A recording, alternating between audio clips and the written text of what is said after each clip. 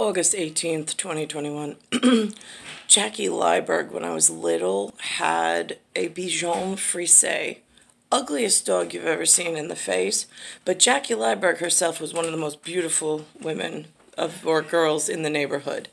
Um, anyway, long story short is now in Bayside Station, Bayside, New York, tenant moves in upstairs and has this the ugly dog. It's called a Bichon Frise. It's the it's the breed, right? So it just I'm at the kitchen table. Lynn's in her chair watching TV, and all of a sudden I'm like, Lynn, there's a dog in your house. She's like, I know, Nicole. We went over this yesterday. I'm like, no, Lynn, it's in your kitchen.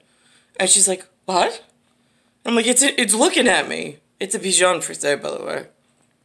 So she's just like, what? So she gets up. So she tries to call it. She opens this door. It runs around to the kitchen. Then it go, the piece of shit goes into my bedroom and pisses all over my, my comforter, my blanket, and my bed and my carpet. As it's walking in towards my bedroom, I go, Lynn, it better not piss in my room.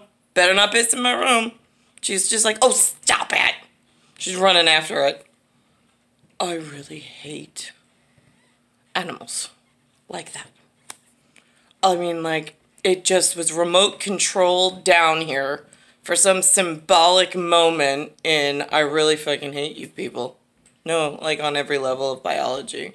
At this point, being that there's USA broken glass, and you have me in this moment as if I could give two shits and as if this really actually matters, as if people elsewhere don't know what's going on.